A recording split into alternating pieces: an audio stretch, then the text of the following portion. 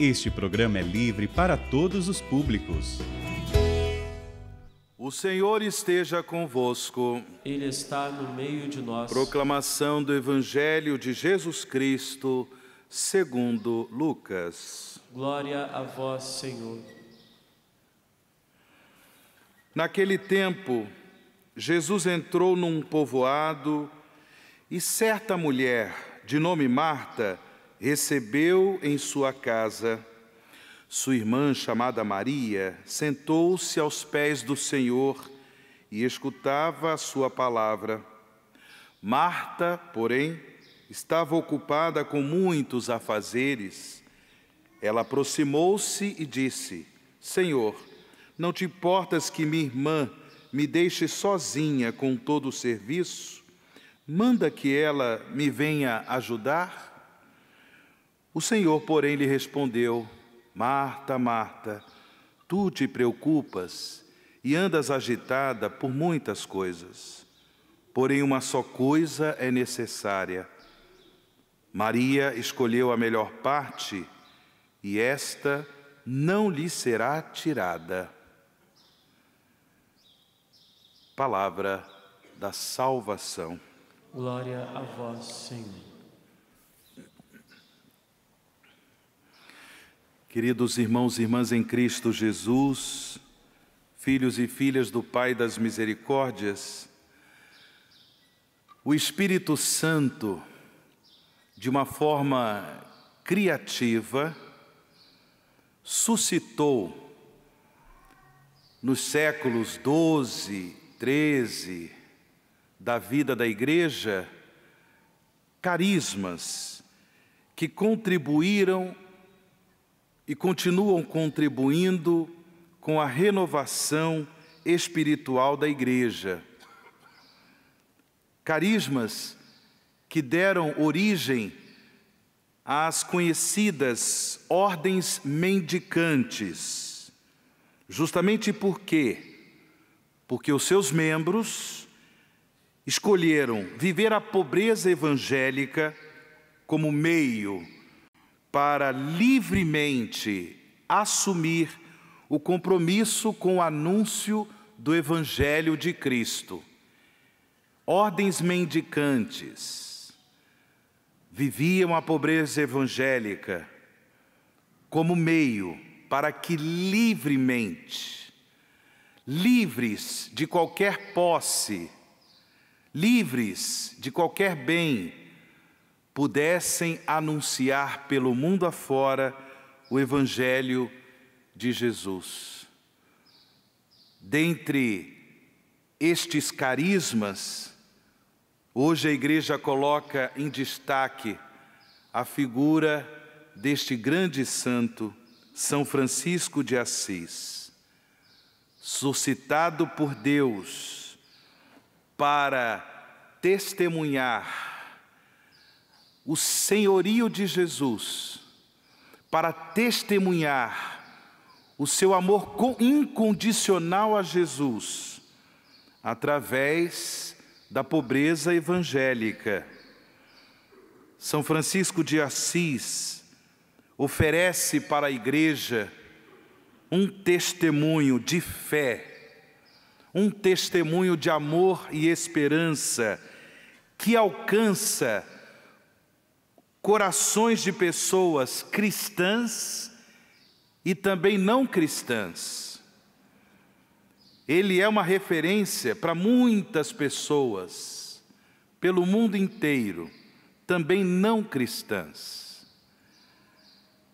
Aquilo que nós ouvimos há pouco no Evangelho, que Jesus diz em relação a Maria, irmã de Marta, irmã de Lázaro, quando Maria sentou-se aos pés do Senhor para escutar atentamente, para alimentar seu coração da palavra de Jesus, dos ensinamentos de Jesus, aquilo que o Evangelho fala a respeito desta atitude de Maria, certamente se aplica a Francisco de Assis.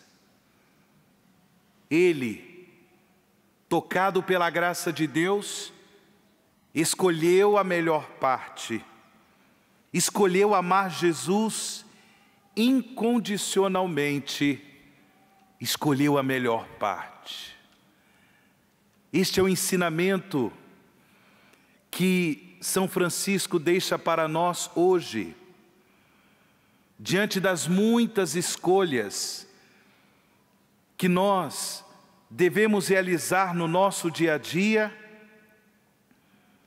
Será que nós temos escolhido a melhor parte? Qual é a melhor parte?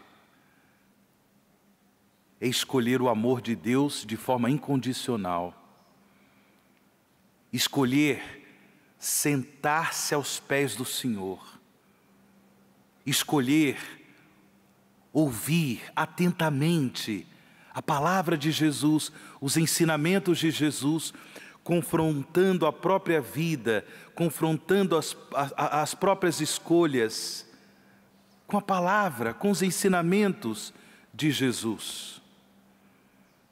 Tendo vivido uma juventude marcada por vaidades, marcada pelo desejo de fazer carreira militar e também marcada por imoralidades, Francisco de Assis foi alcançado pela misericórdia de Deus. E ele se converteu ao amor de Cristo.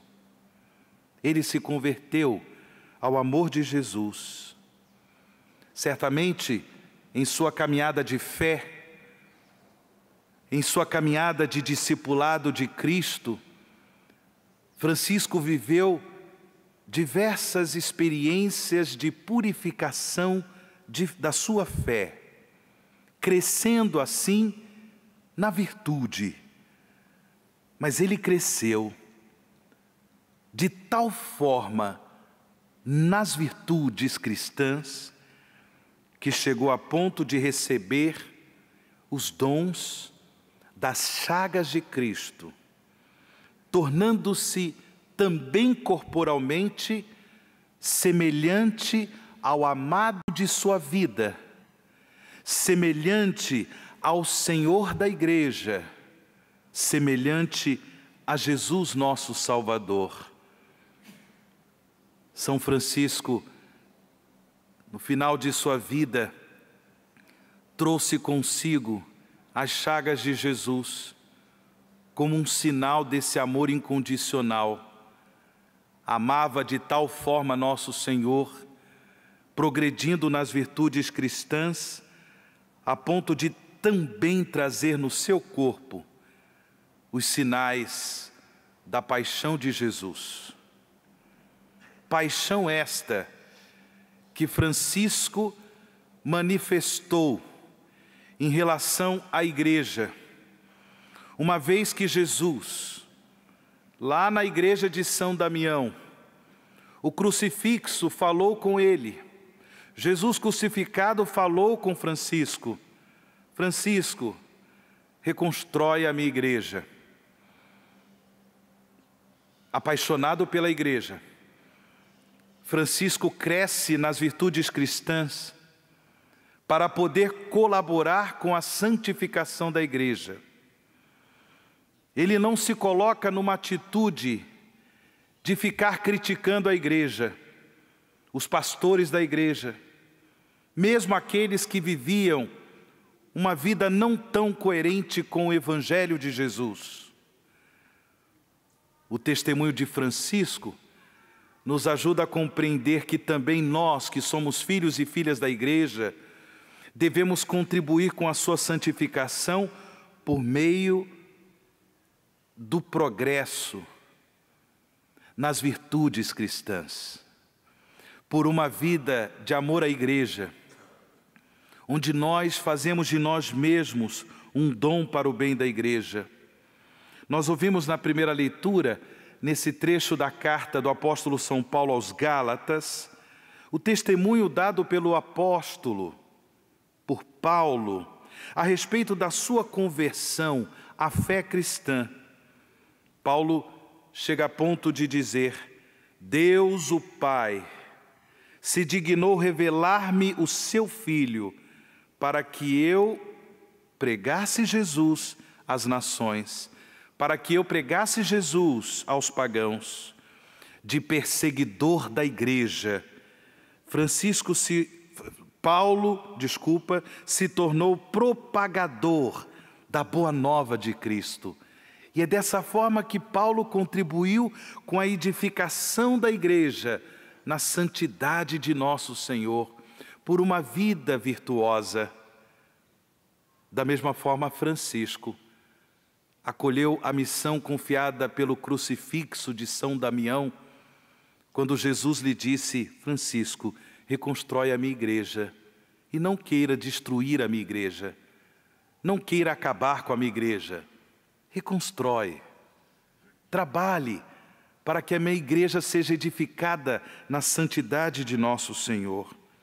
Eis o convite que Deus nos faz através do testemunho de Francisco. O convite de nós também, alcançados pela misericórdia de Deus, nos convertermos a um amor mais profundo por Jesus, um amor mais profundo pela Igreja de Jesus, porque Jesus é a cabeça da Igreja que é seu corpo. Se assim o fizermos, irmãos e irmãs, também nós, como Maria no Evangelho, estaremos escolhendo a melhor parte, esta parte que não nos será tirada se assim o fizermos, por uma vida sincera de conversão ao amor a Deus, ao amor aos irmãos, fazendo escolhas livres por uma vida de desapego também aos bens materiais, certamente aquilo que Jesus disse a respeito de Maria no Evangelho será dito a nosso respeito. Escolhemos a melhor parte que não nos será tirada. Louvado seja nosso Senhor Jesus Cristo. Para sempre seja louvado.